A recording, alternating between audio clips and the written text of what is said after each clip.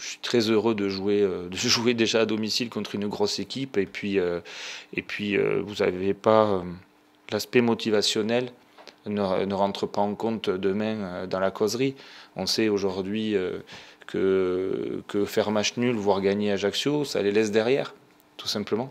Donc voilà, après à nous de, faire le maximum. Mais comme je vous dis, c'est une équipe qui n'est pas là par hasard, qui a de très bons joueurs, des joueurs d'expérience, des jeunes joueurs aussi de, de très grande qualité, et, et, un entraîneur qui connaît très très bien la Ligue 2.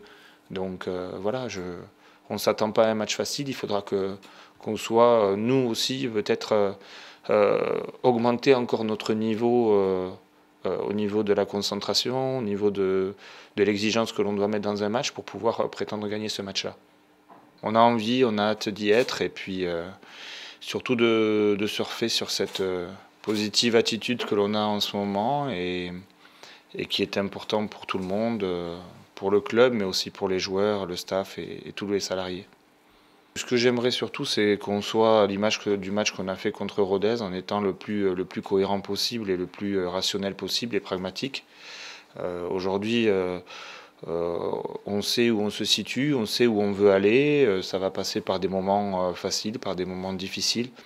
mais il faut avoir une identité, une identité de jeu, une identité offensive, une identité défensive. Et, je vais m'attacher demain à, répéter les choses aux joueurs.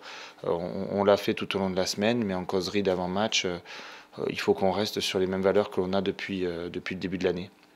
Aujourd'hui, euh, malgré tout, euh, on, a, je pense, une assise euh, défensive collective, mais qui part de devant à derrière intéressante.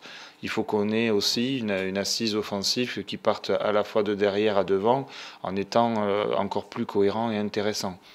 Après, après il y a beaucoup, il y a beaucoup, beaucoup de travail là-dedans. bien défendre et être bien en place tactiquement, voilà, ça en soi, je ne dis pas que c'est plus euh, facile que, l'aspect offensif, mais l'aspect offensif, vous avez à la fois la qualité du joueur, la qualité individuelle du joueur, la, qualité aussi collective d'un groupe. Et, et ça, aujourd'hui, on a encore beaucoup de marge là-dedans.